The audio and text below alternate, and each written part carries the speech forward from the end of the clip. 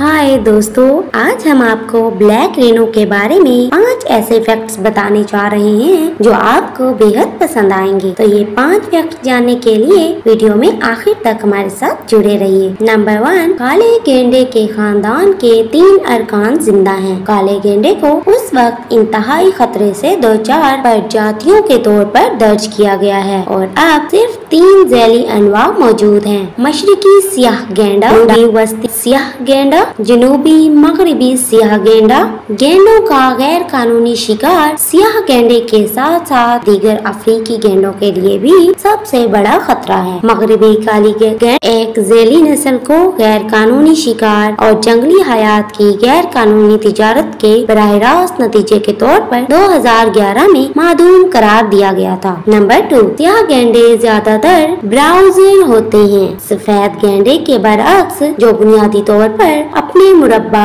और ऊपरी होंठ का इस्तेमाल करते हुए ज़मीन पर छोटी घास खाते हैं। उसके बरअक्स सियाह गेंडों का एक मुनफरिद नज़र आता है। उनके ऊपरी होंठ नकीले होते हैं, जिसे वो दरख्तों, झाड़ियों से खाने को पकड़ने और तोड़ने के लिए इस्तेमाल करते हैं। नंबर थ्री, काले गेंडों ने परिंदों की मुख्तलिफ़ अनवा के साथ एक खालिश बाहमी ताल्लुक इस्तेमाल किया। बशमूल और एग्रेट्स ये ताउन पर मबनी रवैया अफ्रीकी जंगली हयात की एक आम खसूसियत है। नंबर फोर दिन के गर्म तरीन हिस्सों के दौरान गेंडों की रिहाइश गाहों में दर्जा हरारत जैसे माओ मारा, सेरेंगेटी, काले गेंडों के लिए कदरे तकलीफ़ दे हो सकता है। नंबर फाइव दोस्तों, खुशबू के निशानात के अलावा सियाह गेंडों के पास में जज्बात को पहचानने के दूसरे तरीके हैं। वो गरजते हैं और हरीफों के साथ मशगूल होते वक्त काल करते हैं। वो गुस्से का इजहार करने के लिए कराटे लेते हैं और खतरे का एहसास करते वक्त चीख जैसी काले करते हैं और काले गेंडे आमतौर पर जब हिफाजत की तरफ़ भागते हैं तो अपनी दुम घुमा लेते हैं। दोस्तों,